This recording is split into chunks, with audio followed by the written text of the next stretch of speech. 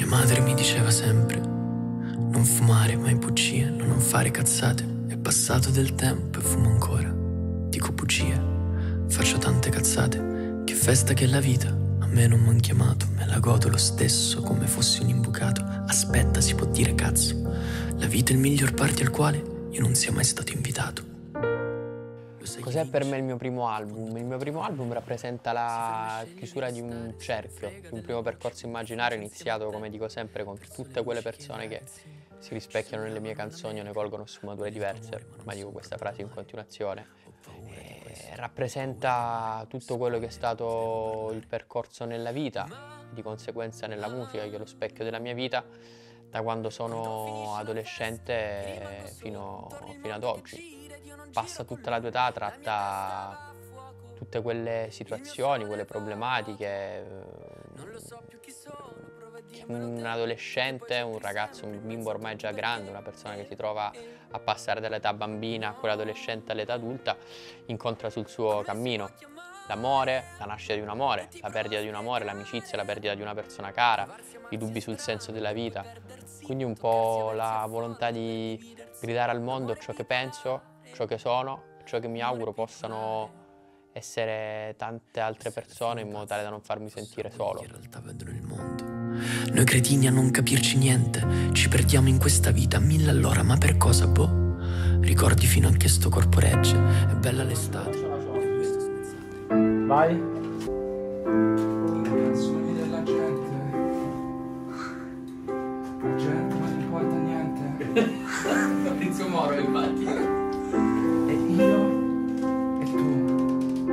E noi. Sono due parole spente. Ma non so che fai qui. È, è una mia doppla in Ma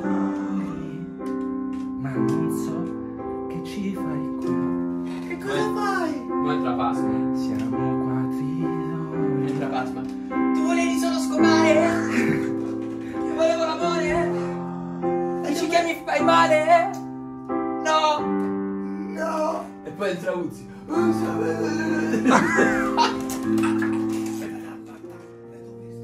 Quando finisce la festa, che rimango solo, intorno il mondo che gira ed io non Com'è giro. stato con lavorare all'album? È stato bello, relativamente faticoso, perché poi le fatiche nella vita sono, sono altre, nel momento in cui hai la possibilità di inseguire il tuo sogno e di fare quello che ti piace non c'è nessuna fatica, sono tutte cazzate. È stato bello ed è stata un po' una, una condivisione sia di vita che lavorativa, che di sensazioni, che di sentimenti con tutti, tutti quelli che ormai sono degli amici e che hanno condiviso, condividono e condivideranno eh, questo percorso musicale insieme a me. I produttori dell'album sono, sono tanti, Steve, Zenith, eh, Gemelli, Sed, Fracte, Room 9, Fabrizio. eh, Le ho visto smezzate, il sesso, la pioggia, provare a sognare. Forse alla fine serve sempre un amore. che segno mi lascia il mio primo album? Mm, mi lascia la consapevolezza che se ti impegni quotidianamente nel lavoro eh, puoi raggiungere dei piccoli traguardi, no? Nei- degli obiettivi.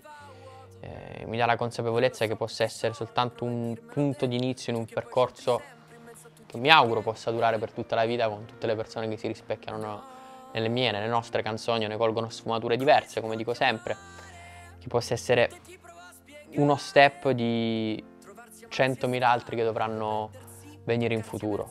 Però se mi guardo indietro non, non ho rimorsi, nonostante penso di aver espresso soltanto una piccola parte del- di quello che è la mia visione di, di musica, quindi è un, un biglietto da visita, ma che mi rende completamente orgoglioso. Quello che vorrei arrivasse a, anche a quell'unica persona che magari in questo istante mi sta ascoltando e che se inseguite i vostri sogni sempre, eh, prima o poi li realizzate. E è bello godersi il viaggio e guardarsi indietro con la consapevolezza di aver dato tutto e non aver eh, rimorsi. Io per eh, quest'album ho realmente dato tutto me stesso e sto impiegando, ho impiegato gli ultimi anni della mia vita e continuerò a farlo crescendo con, con la musica. Fatelo anche voi perché vi rende felici.